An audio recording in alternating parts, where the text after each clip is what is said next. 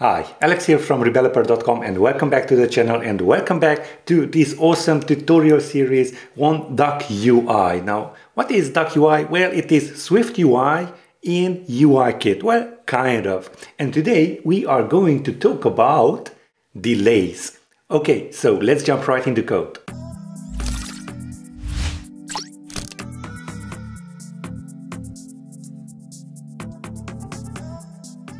Great. Now, I have just recently added a dispatch queue helper that will help us with delays in the latest version of uh, DuckUI. So let us just open up terminal and update our project here. So let's type in cd and a space.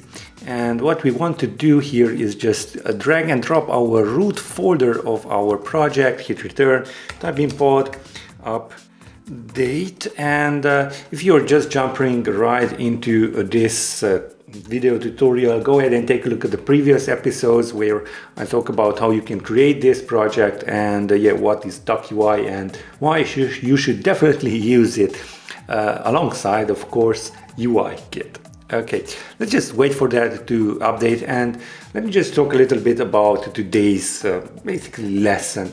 We want to sometimes delay on purpose or we want to just grab something from the background thread and uh, present it on the main thread. Well, that is where dispatch queue helper will come in handy and uh, that is already in a Duck UI and as you can see it is version 0.3.12 that I have updated to so yeah, go ahead and do that. If you're just installing for the first time, yeah, you should get this or a later version.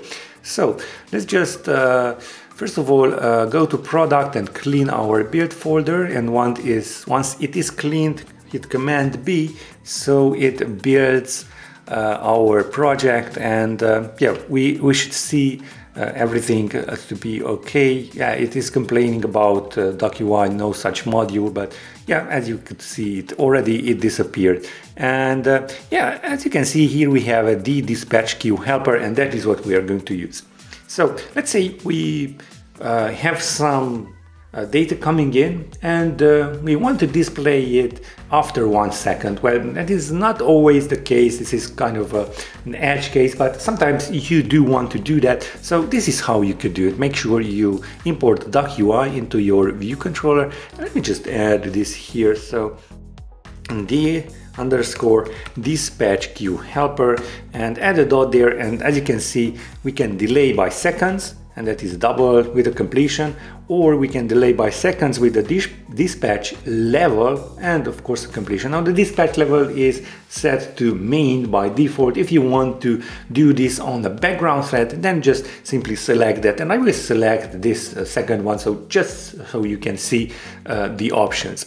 So the seconds, let's say, uh, let's have here uh, three seconds so we can basically see uh, all of this and uh, the dispatch queue level, let's add a dot here so we can see our uh, options, background main, user initiated, user interactive, utility.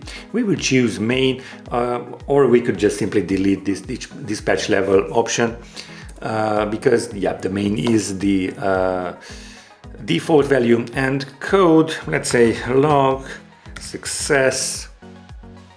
And I will be talking about this log uh, in a later video, but I believe I also have a separate video on the YouTube channel about this. Uh, but yeah, just stay tuned and subscribe to the channel and hit that notification bell to get notified of the new video. So uh, let's see, um, logging after, let's say, few seconds. Great, and uh, just so we know that when we started our view did load, let's log here. Uh, a simple line ln and uh, let's see what should we add in here? Started well, started.